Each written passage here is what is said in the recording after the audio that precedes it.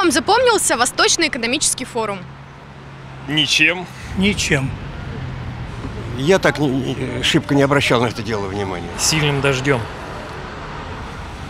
Сильным приморским дождем. К сожалению, мне лично ничем, поскольку я никакого участия даже косвенно не принимала в этом. Пароходом, прибывшим на форум. особо запоминающийся. Это приезд Путина. Но по поводу э, решения проблем, я не думаю, что все это будет во благо как бы, населения. пробками, разбитые тротуары, какой-то тайфун пришел, к которому город совершенно не готов. Странно, да, город у моря, все время шторма, все время мы не готовы к нему. Как-то вот удивительное что-то. К нам стали е- ездить люди высокого ранга, руководители стран, что они с нами хотят общаться. Пробками. Запомнился очень хорошо. Ну а так-то чем? Прошел и прошел. Ничего тут такого.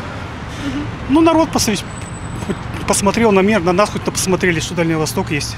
А ну мы-то что, простые жители, мы же там не ходим. Тем, что они обсуждали, наверное, совсем не те вопросы, которые стоило бы обсудить. А какие бы стоило? А, ну, как минимум, я думаю, дешевые перелеты в столицу, э, ну, дороги, естественно, наши. Но никак не открытие Макдональдса, который сейчас, я думаю, можно отложить надолго вперед и обсуждать это в других местах, как минимум. Наверное, размахом инвестиций. Да, будем надеяться, что это принесет нам какую-то пользу Дальнему Востоку. Много очень руководителей, иностранные представители. Очень приятно, что именно в нашем городе это все. Что с погодой повезло. Ничем. Я к нему никакого отношения не имею. Я пенсионер.